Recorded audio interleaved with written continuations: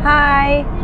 So, ngayon, pupunta kaming palengke para bumili ng aming diet goals. diet food. So, bibili kami ng isda kasi kahapon pa nagka-crave ako ng fish. Gusto ko talaga si galunggong eh. So, ngayon medyo maaga-aga kami. Maaga-aga ako nagising. Maaga-aga nagising pero hindi ko naisip agad na dapat pala maaga tayo pumunta sa palengke para makabili ng fish. Kasi baka kung pinagpilian na yung isda ngayon.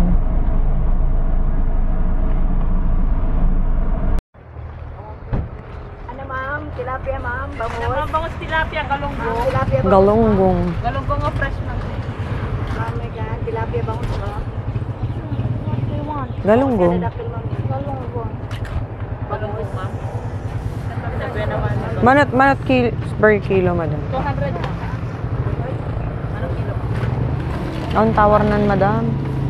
Para niti tahong ma'am. Wala 190 lang na namin. Sabi naman. Sangpit na tahong ma'am ne. Ano, ma'am? Um, auntie, pwede naman siyang i-ano, no? Pwede siyang i- i-freezer ka, Jay? Tatlo. Kasi ikan tayo, ikan. ikan. Oo, tapos i- i- i-store mo yun. Dito pala tayo bibili ng Ay, ano. bangus. Tahong. Ha? Ano, ano gusto mo, anak? Favorite mo ko Ayun, no? Bangus, you like? Anak pa yung ma'am, bangus. Ano, kaya, Tahong ma'am nga ron. Wala niti na bangus. Tilapia. Tahong. Papaya.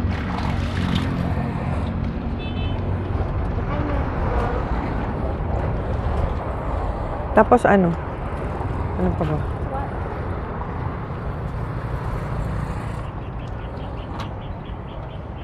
Tahong.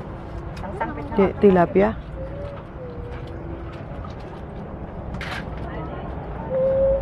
You like Ray Ray?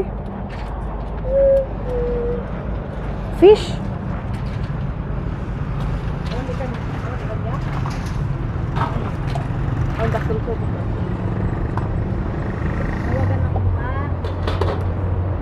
Yan, so bumibili kami na isda.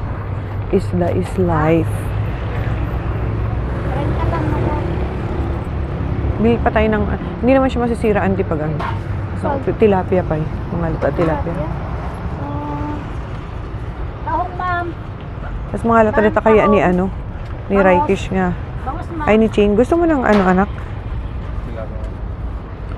Gusto mo nung, ang tawag doon?